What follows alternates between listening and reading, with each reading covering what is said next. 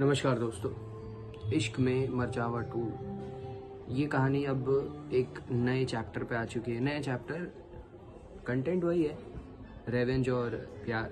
लेकिन चैप्टर नया है। चैप्टर क्या है कि अब वंश ने तो बहुत बड़ा धोखा, धोखेबाजी किया ही है। रिधिमा से बहुत बड़ा बदला तो ले लिया, आहना को अपनी वाइफ बताकर।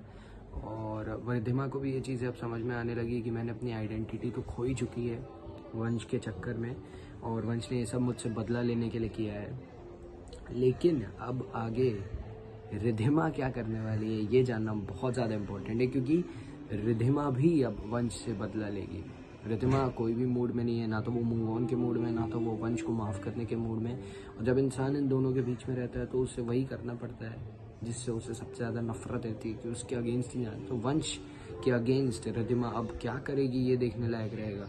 वंश का डाउनफॉल तो मतलब तय है, समझ लीजिए। और वंश को अब अब माफ़ी तो नहीं मिलने वाली रिधिमा से।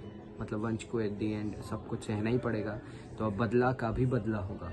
तो और मज़ा आने वाला है फॉर ऑल द इश्क में मज़ा और टू फैंस स्टे ट्यून्ड देखते रहिए स्पीक्स बहुत बहुत धन्यवाद।